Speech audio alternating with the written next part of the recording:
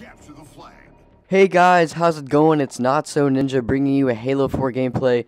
I wanted to start off right away by just apologizing that I haven't had a video out the last two days. Um, I have more family coming into town. I really don't know what it is about like the month of May, but I guess they decided. I guess my family decided that would be the best time to come in and visit, and so they came in to visit, and I don't get to see them very often. And so when they come, I I normally end up going out and doing a lot of things with them, and uh, they normally end up staying in my room, so I have to sleep on the couch in my living room, which is never fun. And so that's why I haven't had a video out the last two days. I've been very busy with them. I just wanted to thank you all for understanding and not unsubbing because I went one or two days without a video or anything. You know, I'm really glad that uh, you guys stuck around. And this is another 100 kill game. This actually tops my last one. Instead of two exterminations, I actually get three, and I I get one more kill. I get one more kill than I did in uh, my last 100 kill lightning flag video. And so this is actually one kill better than the last one. So I really hope you guys uh, end up enjoying this video. I don't really want to talk about the gameplay too much. Uh, you know, obviously it's 100 kills playing uh, lightning flag with a couple friends. I'm just slaying most of the game. I don't really touch the objective that much, and that's how I get the easy kills. But um, what I wanted to talk about today was the new Xbox reveal. I just got done watching the reveal of the Xbox One before doing this commentary, and I just wanted to talk about that this video and kind of go in depth, I guess you could say, on a lot of the things that they showcased and revealed, and and just kind of tell you guys about it because a lot of you who are still in school or maybe you, you missed it, you didn't get to see it, you didn't know it was on or something, you know, maybe my video will kind of bring you up to speed with what's going on. But um, well, yeah. First of all, obviously, the name of the new console is indeed the Xbox One. I'm sorry, guys. I'm still a little bit, still a little bit sick, but uh, I'm feeling I'm feeling much better now. It's mainly just in my throat now, which you know still sucks because I have to talk. But yeah, the new console is the Xbox One. It is going to have um, smart glass, the Kinect, and a new revolutionized, revamped controller that looks pretty cool. Hopefully, it's not too too different from the uh, the Xbox 360 controller because I'd really hate to have to get used to a completely new controller that doesn't feel anything like the last one. But uh, yeah, they have a new controller. It looks pretty good. They're going to be using Kinect now for voice. The voice is cleared up now, so you know that way now with the Kinect, hopefully it's not going to sound uh, absolutely horrible because I don't know if you guys rem really remember what Kinect mics sound like or if you've heard a lot of them, but Kinect mics just sound absolutely terrible. They just sound absolutely horrible when you're trying to talk to someone that has one. I just it echoes and it picks up background noise and it sounds really distant and distorted and hopefully they've really really picked it up with the Kinect. I'm sure they have. Um, it's got a lot more memory than the previous consoles. It has um, a lot more higher output and RAM, and it just it's going to be an overall better console. Much much better graphics, much faster. Um, and it just it looks like it's going to be really good. I had a couple friends say that they were going to go to the PlayStation and all this stuff because all they'd heard was rumors and specu and they've just been speculating on that alone. And you know, honestly, I had I'd kind of heard what they said, and I didn't really have too much of an opinion. I mean, I was like, you know, I like the Xbox 360 over the PlayStation 3. I'll probably end up just going with the new Xbox over the new PlayStation anyway, just because I've always been an Xbox person. But now, looking at this reveal of the Xbox One there's not even a question in my mind. I'm going with the Xbox, regardless of the price, regardless of anything like that. You know, you have to pay for a membership, unlike PlayStation where it's free. I'm going with the Xbox One because there's not a doubt in my mind that Microsoft is going to top anything that Sony could possibly put out. And it just it looks absolutely amazing, guys. Like I would definitely just from just from the reveal say that the Xbox is going to top the PlayStation by a mile it just looks like it's going to be an absolutely fantastic console, and I'm super, super excited for it. Um, the graphics look even closer to real life than they ever have. They've gone farther into depth with um, the pixels and the color schemes. There's like more textures now. There's more. There's better lighting, and things are just looking in more and more lifelike. And I got to see um, I got to see the reveal of Call of Duty Ghosts, It looked very, very cool. It looked like a def- definitely like a new Call of Duty experience. It almost looks like it has more of a battlefield kind of feel than the previous Call of Duties have. But um, I'm actually kind of excited about that. I've never really been a huge, huge Call of Duty person.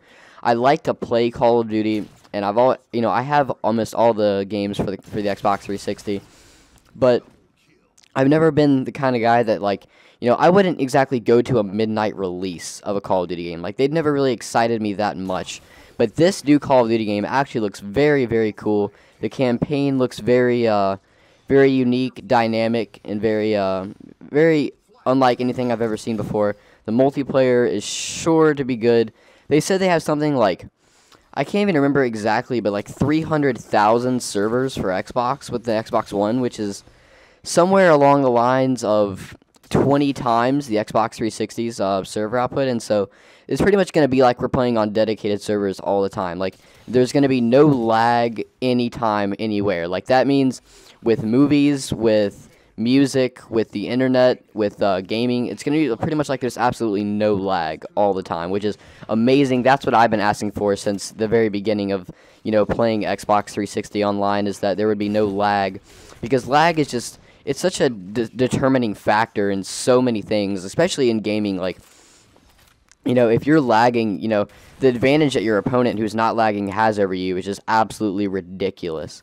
And hopefully with them, you know, you know, increasing the amount of, of servers that the Xbox has by 20 times, that, that there will be absolutely no lag. It'll feel like we're playing, you know, LAN, local area network, all the time, which is really what I'm shooting for. That eliminates, you know, hosts, it eliminates uh, lag, you know, kind of kind of compensates for if you know you're playing like overseas with foreigners like it really just improves the quality of matchmaking by just a ridiculous ridiculous amount and i'm really really excited to hear about that and see that.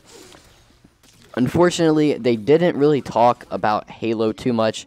Um, i don't remember exactly what they said but i'm pretty sure i heard something about a halo tv series and if you guys watched uh, Machinima's Forward Unto Dawn, that was absolutely amazing. I loved Forward Unto Dawn. They did a great job with that. That was an award-winning television show that they uh, they had on YouTube, and I was just I was really really really impressed with Forward Unto Dawn, and I really wish they would have made more.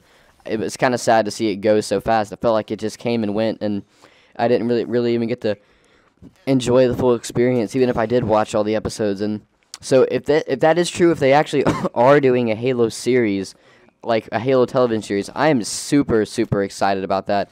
I cannot wait. It's going to be absolutely amazing. There's no doubt in my mind, especially if it's anything like what they did with Forward Unto Dawn.